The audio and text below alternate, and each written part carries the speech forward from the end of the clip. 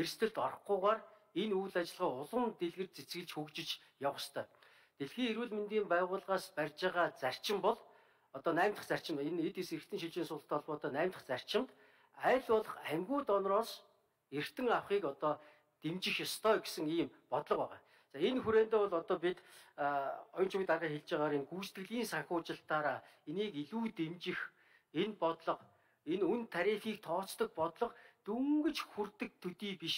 илүү гарч тэр илүү гарснараа цалин хөлсөө нэмэх боломжийг олох зорилгоор бид энэ дээр одоо энэ төсөв тооцоог нь хийж өгч явах хэрэгтэй. Тэгэхээр бид одоо эрүүл мэндийн даатгалын сан ердөө бид 20 онд 450 тэрбум төгрөгтэй байсан эрүүл мэндийн даатгалын сан одоо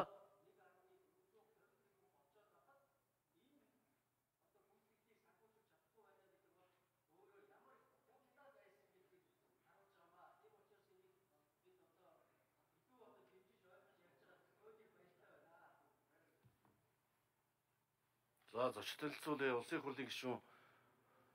Жадамбын Бат Эрдэнэ урилгаар Булган аймгийн соёл урлагийн байгууллагын ажилтнууд удирдах ажилтнууд улсын хурлын үйл ажиллагаа төрийн ордонтой танилцж байна. За соёлын салбарын шин сэргэлтийн бодлого сэдвт чуулганд оролцож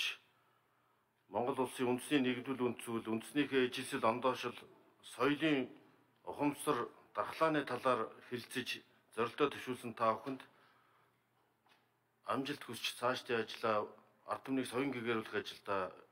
улам их амжилт гаргахыг хүсье өрөөё.